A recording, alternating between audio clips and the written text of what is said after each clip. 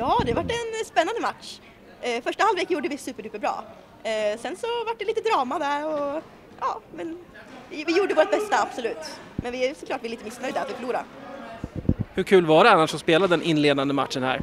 Alltså det var superduper roligt. Det var fart och fläkt och det hände mycket.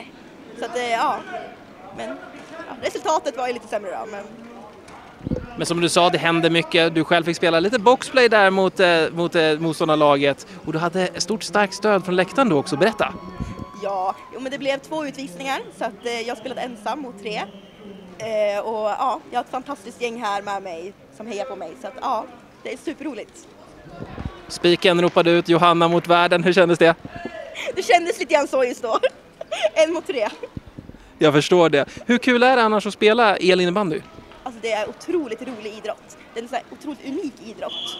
Som, eh, ja men, det är otrolig gemenskap, att komma iväg så på tävling. Det är en otrolig möjlighet och ja, men väldigt, väldigt roligt.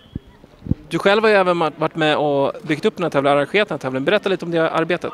Ja, det har ju varit mycket, mycket jobb här runt omkring för att det ska fungera. Allt från, eh, ja men, eh, allting är praktiskt runt omkring med hotell, men även liksom preppa på plats. Det är ju lag från Europa och Nordamerika här. Hur känns det liksom att ha representanter från stora delar av världen? Det är ju superduper roligt att ha ja, men så pass många länder här. Och det är egentligen alla utom Tyskland som är här representerade. Så det är Norge, Danmark, Sverige, USA och Kanada. Så det är 24 lag, vilket är otroligt häftigt. Vad har du för förväntningar på resten av den här helgen? Jag har förväntningar att det ska bli otroligt roliga matcher.